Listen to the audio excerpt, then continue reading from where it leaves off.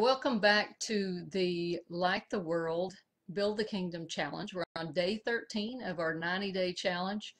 And uh, so every day we get down on our knees and we ask God to give us something we can do to build the kingdom today, something we can do to be a light, to uh, help other people, to bring good things into the world and uh, point people to Jesus Christ.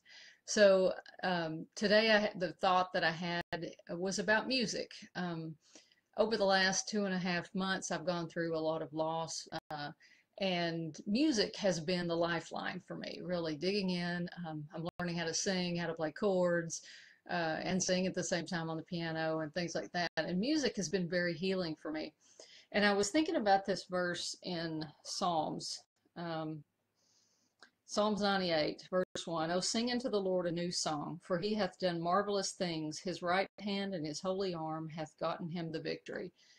And uh, I've, I've felt a lot like that lately to want to sing unto the Lord a new song. And, and I've even gotten into writing a little bit of uh, lyrics and, and things. And it's, it's really been a good outlet for me as I've done that. So today, I thought it would be fun if everybody would think of a song that really lifts you, that uh, points people to Christ, that makes you remember what God has done for you, the marvelous things He's done for you, and post that on your Facebook wall using our hashtags on um, the, the 90 Day Light the World Challenge or Light the World or Build the Kingdom. You know, use one of our hashtags and post a song that really uplifts you. Share that because music has such a, a huge impact. I don't think we really realize how much music really impacts our lives. So just by doing something as little as that, that could light the world today if we all just shared a, a song. And I'm um, not going to sing for you on this one, but I'll I'll, uh, I'll post a song that I like also on my wall after this. But um, you can either post it in the thread in the comments below, or you know, post it on your own wall would probably be the best. And and use our hashtags and get other people going with the Light the World challenge.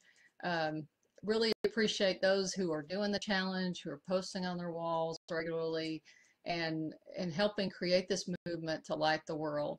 Uh, good to see a lot of your friendly faces there hopping on, and um, so every day what we do is we just get down on our knees, we ask the Lord, what can we do to build the kingdom, to light the world today?